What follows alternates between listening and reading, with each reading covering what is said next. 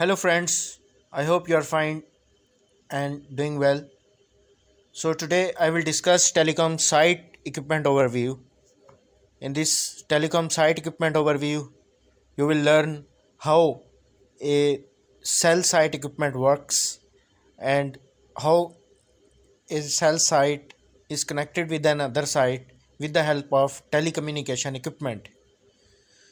So, I added a detail of telecom site equipment in this series like BTS, BBU, RRU, RF antenna, microwave antenna, and, and the start from the BTS, which is base transceiver station, and the BBU, which is a part of BTS, and BTS is basically is used to transmit and receive the signal from BSC and MSC as it connects both BSC and MSC and the radio remote unit is the interface between the RF antenna and baseband unit as it supports the connectivity via BBU and RF antenna. So the function of RF antenna is to radiate the signals so that uh, the user works on the base of mobile frequencies like 900 megahertz and 1800 megahertz and uh, the next one is the power rectifier which is used to power up the baseband unit. And the second one is the RF modules which are the capacity modules. And these are installed in this baseband unit. And it supports the frequencies and the bandwidth like if we are supporting the 2G technology that RRU is using the same SFP module in which the BBU has been used. Like for 2G, we have installed 2.5G and in BBU and in RRU the same RF SFP module will work to support the baseband frequencies. Next one is the type of fiber optic cable and we know that in a fiber optic cable the data travel in the speed of light like in SFP module which is giving the connectivity to fiber optic cable from the BBU and the next one to the RRU. The main function of SFP is to convert electrical signal into light signal to make it possible so that one from the one side the signal is going to the other side from transmitter to the receiver end. Now check this overview of a BBU diagram with RRU. RRU is connected in BBU with capacity card and that green wire shows the fiber optic cable connectivity. As RRU transmit RF signal and it is connected with BBU as I told you earlier with RF antenna through fiber optic cables and the jumper wire and it converts the RF signal into the data and data into the light signal vice versa.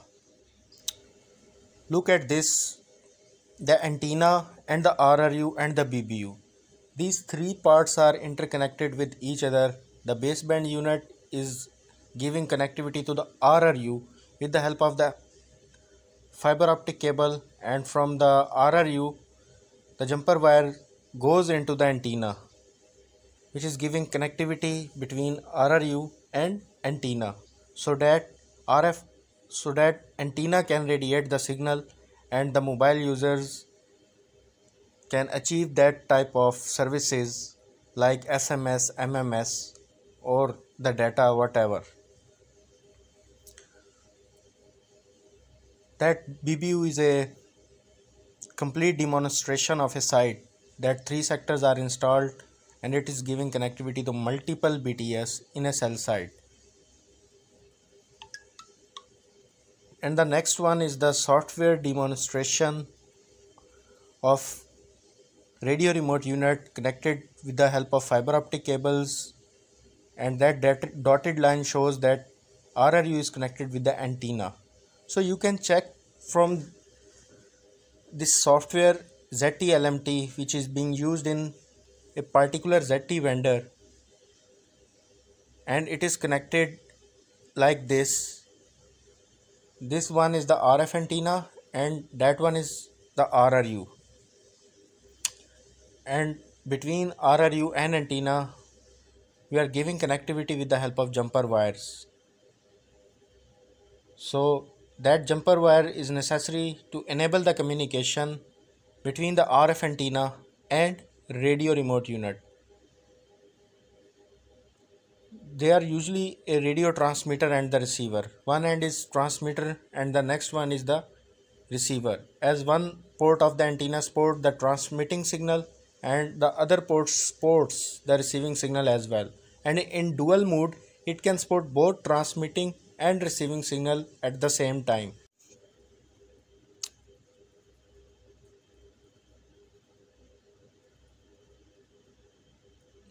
RRU connectivity with antenna via jumpers. I told you the earlier the connectivity from port to port. One from the transmitter and one port is transmitting and the other is receiving. And the third port is using the RET connections as well. And from the right side of the RRU, we are connecting the power cable to power up this device so that it can radiate the radio waves and the uh, RF signal and it converts the RF signal and process it to the RF antenna.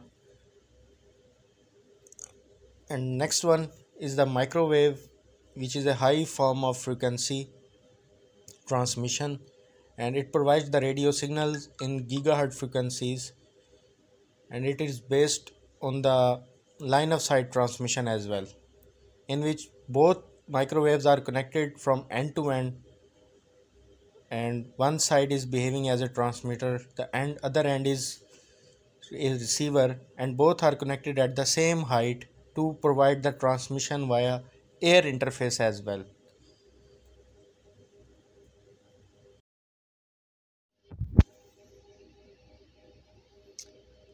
So usually a power rectifier and battery bank is used for energy backup and power rectifier we know that it converts AC current AC into DC and the type of Huawei rectifier is R4850G2 rectifier module.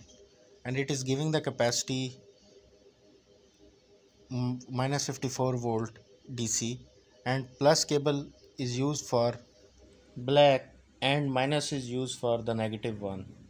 Blue cable will connect the circuit breaker and that black cable is connected with bus bar to support the neutral voltage and minus is for phase voltage as well. That BBU with the help of CPRI or fiber optic cable is giving connectivity to capacity card and that capacity card is connected with the help of SFP inside the RRU like this one that RRU is connected with the help of fiber optic cable. On the both side SFP modules with capacity card as well. So this one is the SFP which is used to convert light signal into electric signal and electric signal into light signal and is connected with the help of fiber optic cable as well. SFP has a wide range of applications as we are using it in cell sites and the data centers for the data communication purposes. So I think this introduction is enough for you to understand this basic concept of telecom site equipment overview.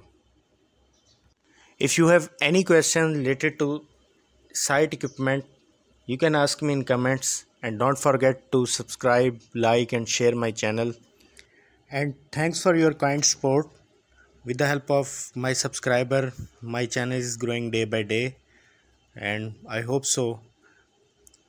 For the next days i will provide more knowledge about the telecommunication and give you the best training and the best output. Thank you so much